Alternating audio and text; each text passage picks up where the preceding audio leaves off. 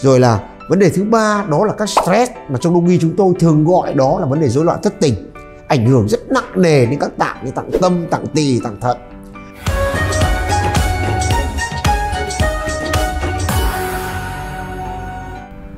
Xin chào các bạn, rất vui được gặp lại các bạn trong chuyên mục Bạn hỏi bác sĩ trả lời của phòng khám Đông y Tuệ Y Đường. Và mình là bác sĩ Quỳnh Như.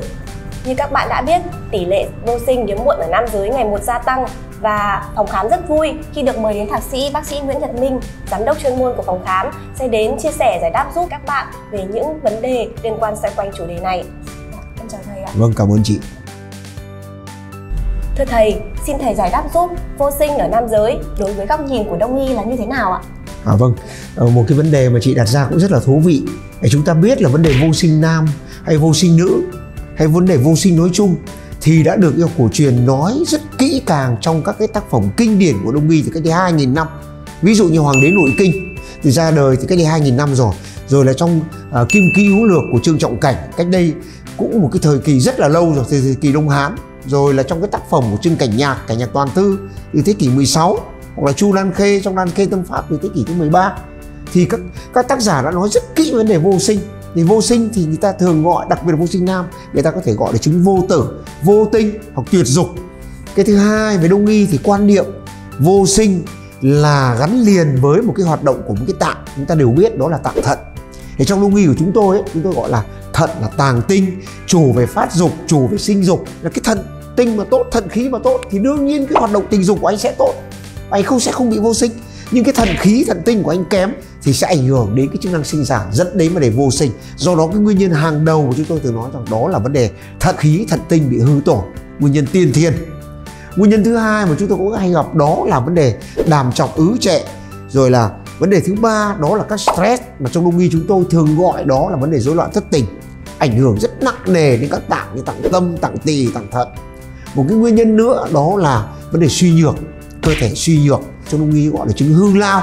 Đó khí huyết hư tổn tinh không đầy đủ. Đó. và một cái điều nữa mà tôi muốn nói đó đó chính là vấn đề sinh hoạt. Ăn uống ví dụ như là nghiện thuốc lào thuốc lá này vấn đề tình dục không kiểm soát này một cái hoạt động tình dục quá sớm quá mức kéo dài cũng ảnh hưởng đến cái chức năng này. Dạ, xin cảm ơn bạn. Dạ, vậy xin bác sĩ cho biết cách điều trị trong đông y và có thể chia sẻ một số bài thuốc cổ phương để điều trị tình trạng vô sinh hiếm muộn ở nam giới trong đông y không ạ? Dạ vâng, à, xin cảm ơn bạn. Thì tôi đã muốn nói với các bạn như thế này. Đầu tiên là vấn đề tạng thận. Đây là một trong nguyên nhân cơ bản nhất là khi mà thận tinh, thận khí nó kém thì chắc chắn là dẫn đến vấn đề suy nhược sinh dục, vô sinh trong tương lai. Thì thận tinh chính là cái thận chúng tôi thường gọi là thận âm đấy được suy nhược như vậy thì chúng tôi dùng cái bài thuốc rất nổi tiếng nó ra đời cách đây có thể nói là 10 thế kỷ rồi đó chính là bài à, tả quy hoàn là bài thuốc rất là nổi tiếng. Nó xuất phát từ cái bài lục vị có thể dùng để làm à, thuốc hoàn này thuốc sắc này hoặc ngâm rượu. Trong đó có những cái vị thuốc rất cơ bản trong đó ví dụ như là bài lục vị mà bỏ trạch tả bỏ đan bì bỏ phục linh đi, ra thêm các vị thuốc bổ âm nhé. Như cao quả ban long này quy bản này đó nhé. Rồi câu kỷ tử này vân vân hà thủ ô rất tốt. Thứ hai nếu là một cái thận dương mà suy tổn thì chúng ta có thể dùng cái bài thuốc thứ hai đó là bài kim quỹ thận khí hoàn hoặc là bài hữu quy. Đó. Cũng là một cái bài lục vị bỏ thuộc địa trạch tả phục linh gia phụ tử nhục quế câu kỷ tử đỗ trọng cao văn long. Để điều trị cái thận dương đó, một cái bài thuốc thứ ba chúng ta có thể giải quyết rất tốt. Đó là trong trường hợp mà tâm tỳ hư khí huyết hư nhược thì chúng ta có thể dùng bài bát chân. Ra thêm các vị bổ dương ví dụ như đỗ trọng ba kích kỷ tử một cái phương pháp thứ hai mà có thể xin chia sẻ với bạn mà tôi muốn nói luôn đó là kết hợp với châm cứu. Thì ở đây tôi xin nói thẳng với các bạn này là sử dụng các cái huyệt đạo theo nguyên tắc nguyên lạc. Thái khê này phi dương này kết hợp với mệnh môn này rồi thận du này châm bổ cứu để giải quyết cái chứng suy nhược sinh dục vô sinh rất là tốt. À, xin cảm ơn bạn.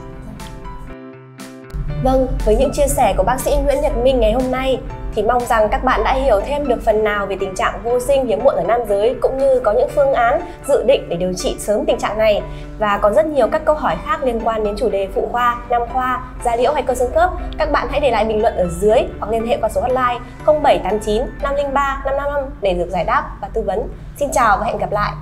Em chào thầy ạ. Vâng, cảm ơn chị.